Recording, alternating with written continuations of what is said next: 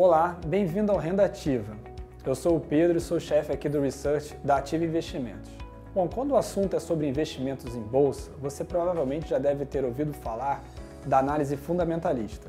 Eu vou tentar resumir rápido e explicar um pouco sobre do que se trata esse tipo de análise. A análise fundamentalista é o tipo de análise que os principais fundos de investimentos utilizam para decidir qual ação possui uma boa atratividade para compor as suas carteiras. Através dela, observamos a relação do valor que essa ação deveria valer e o seu preço de tela, e se há alguma simetria interessante ali.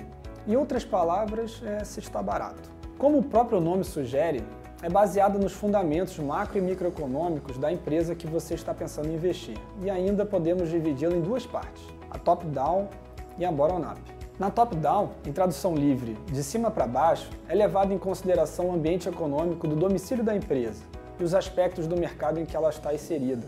Por exemplo, como é que a taxa de câmbio ou a taxa de desemprego impacta a empresa e como é a dinâmica e evolução do seu mercado. Se é um mercado muito concorrido, se é maduro ou ainda numa fase de crescimento, entre outras coisas. Ou seja, todos os aspectos que estão em volta da empresa. Bom, já a análise bottom-up, de baixo para cima, né, parte da análise de seus números e resultados, como o seu lucro, a dívida, geração de caixa e etc. Bom, se ficou complicado até aqui, eu vou fazer um exercício bem rápido que você vai entender. Vamos imaginar que você ganhou um dinheiro e que por conta disso um amigo seu te convidou para investir no negócio dele, por exemplo, um restaurante. O que você faria a seguir é muito semelhante com a análise fundamentalista e com o processo de investimento das principais gestoras do mundo. Primeiro você iria querer saber se esse restaurante está bem, ou seja, se tem cliente, se as pessoas gostam de ir lá, se a localização é boa, identificar os concorrentes, se tem dado lucro, se tem dívidas, né? Em outras palavras, você provavelmente iria primeiro tentar entender como anda a saúde financeira do restaurante e se ele tem uma boa perspectiva pela frente. Você percebendo que não estará lá todos os dias para tocar o restaurante, iria querer saber quem está lá, né? Quem é o gerente, o cozinheiro e as pessoas chaves ali para manter a operação rodando bem. Será que elas estão satisfeitas? Como é a remuneração delas e os incentivos?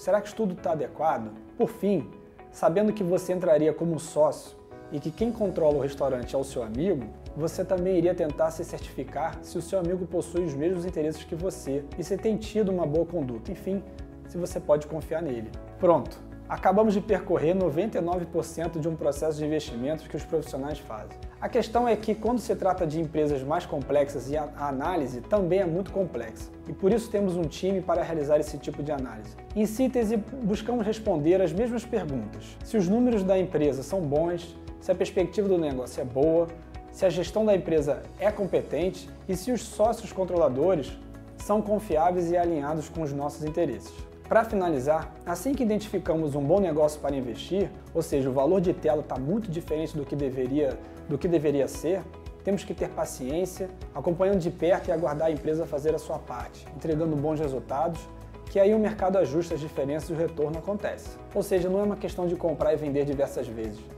mas de analisar, acompanhar e carregar a posição e investir no tempo certo, o que é tema para o próximo vídeo.